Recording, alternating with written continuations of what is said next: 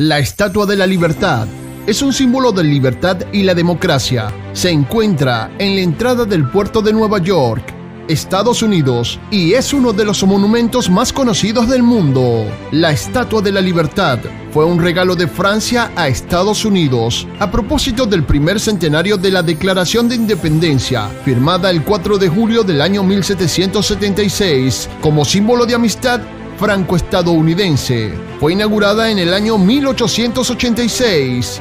La libertad iluminando el mundo es el nombre completo y oficial del monumento que demoró 11 años en ser construido.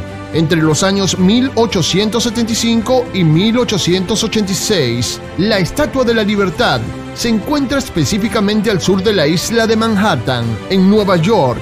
Pesa 225 toneladas en total mide aproximadamente 93 metros de altura, desde el pedestal hasta el extremo más alto de la antorcha.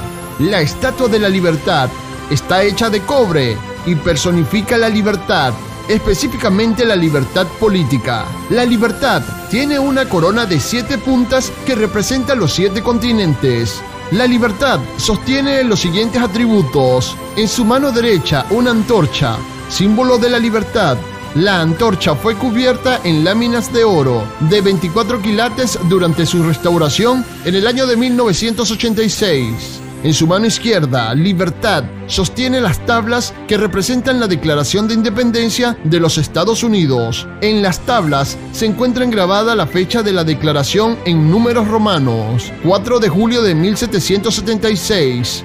La logística para transportar la estatua desde Francia hacia los Estados Unidos el presupuesto y la decisión de la ciudad en la cual se iba a quedar fueron grandes problemas que tuvieron que ser resueltos por el director del periódico New York World, Joseph Poleser. Fue él quien incentivó a los lectores neoyorquinos a que hicieran donativos, gracias a lo cual llegó a recaudar 120 mil dólares en cinco meses, lo necesario para pagar el traslado de la estatua hasta Nueva York. Esto es Historias de Nueva York.